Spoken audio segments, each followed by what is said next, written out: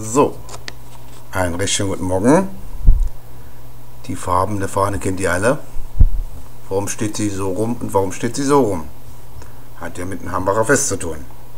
Könnt ihr einfach nachgoogeln oder wie auch immer, wer da nun verantwortlich ist.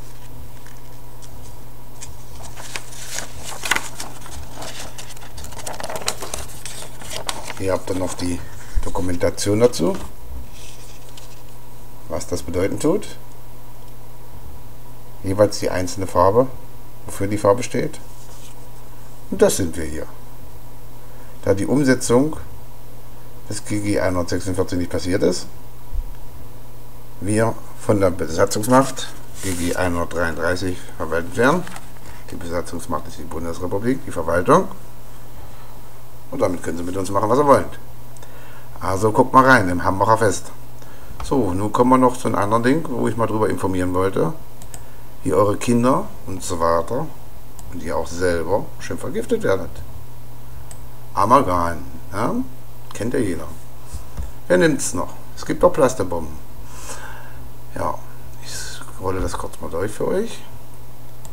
Den Link werde ich dazu natürlich reinsetzen, wo ihr selber nachgucken könnt den Original-Link. Da könnt ihr einfach weiter, weiter nachschlagen. Es gibt genügend Informationen. Wer sich hier noch Amalgam noch reinmachen lässt, der kann sich sein Grab schon selber graben.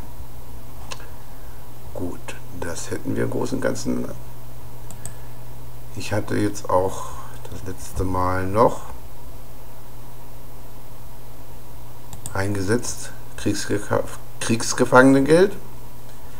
Besser als das Kriegsgefangenenbesoldung. Könnt ihr euch auch informieren. Liegen um die 1800 Euro, die die Wirtschaftsmacht euch bezahlen muss. Die Anleitung wird der gute Herr euch dann auch sagen. Und die Wirtschaftsmacht ist ja die Bundesrepublik.